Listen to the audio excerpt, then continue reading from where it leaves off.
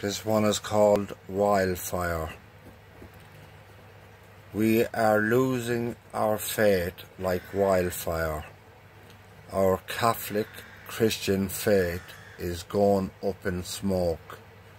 We are losing the battle against evil. They are taking out our faith out of the schools. They don't want us to have our crucifix the symbol of Jesus Christ our Lord, the symbol of our Catholic faith. They don't want us to pray.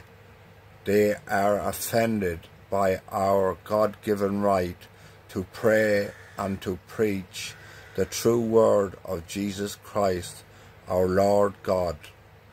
And we, as so called Christians, are allowing this evil to happen. We are all guilty of this sin.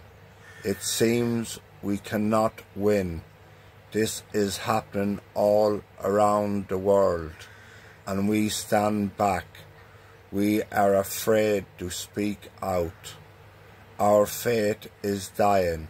Our precious people, the true children of God, are dying all around us.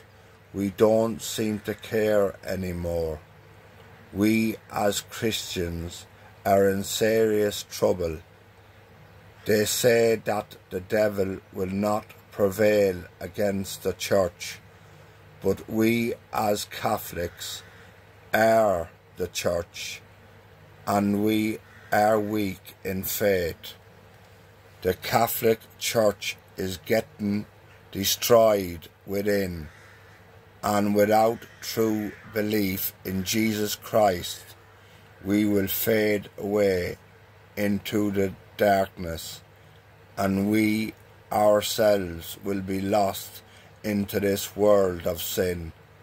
Our children don't believe because we, as so called Catholic Christians, are not teaching them our God given faith as true children of God.